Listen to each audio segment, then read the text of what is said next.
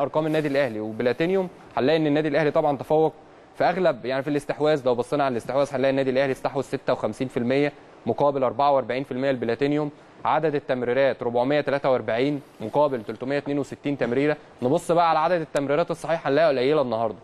نسبة التمريرات الصحيحة من أقل المباريات من يعني. أقل المباريات طبعا في فقد الكرة في التمريرات وده بيرجع لأرضية الملعب في الأساس. وبرده للتحضير ممكن كان يكون التحضير للمباراة ما كانش موفق قوي.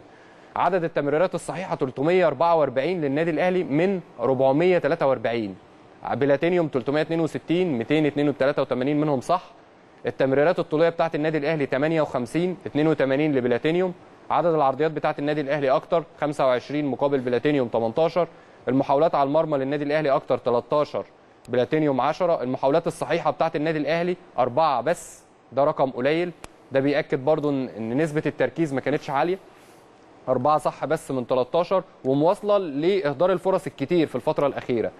المحاولات على المرمى بلاتينيوم 10 المحاولات الصحيحة خمسة. نسبتهم في دقة الفينش عالية. اللي إحنا اتكلمنا عليه قبل المباراة قلنا إن خطورتهم في التسديدات من بره ال 18 المحاولات من خارج الصندوق هم شاطوا 4 من 10 يعني 40% من محاولتهم من بره. عكس النادي الأهلي محاولتين بس من بره. أهم رقم بقى اللي هو عدد مرات فقد الكرة. مهم جدا. 151 مرة للنادي الأهلي مقابل 125 مرة ده للبلاتينيوم اول مرة من أول مرة تحت. تولي ريني فايلر. ريني فايلر كان بيديك ميزة مع النادي الأهلي إن نسبة إن أنت دايما بتستحوذ وفقد الكرة بتاعك ما بيبقاش كتير. يعني ما بيبقاش بيبقى قليل جدا.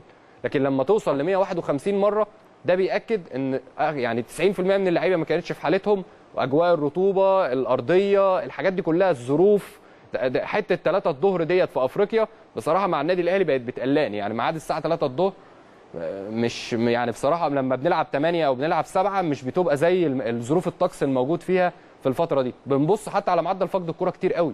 يعني 151 مرة ده رقم كبير بالنسبة لفقد الكورة. يمكن كمان لو بصينا مروان مروان يعني أنا شايف الناس لا مروان النهارده قدم مباراة كويسة جدا على مستوى المحطة ال- ال- العمق الهجومي لما إحنا كنا مفتقدين آه. ما هو مطلوب منه الحقيقة. في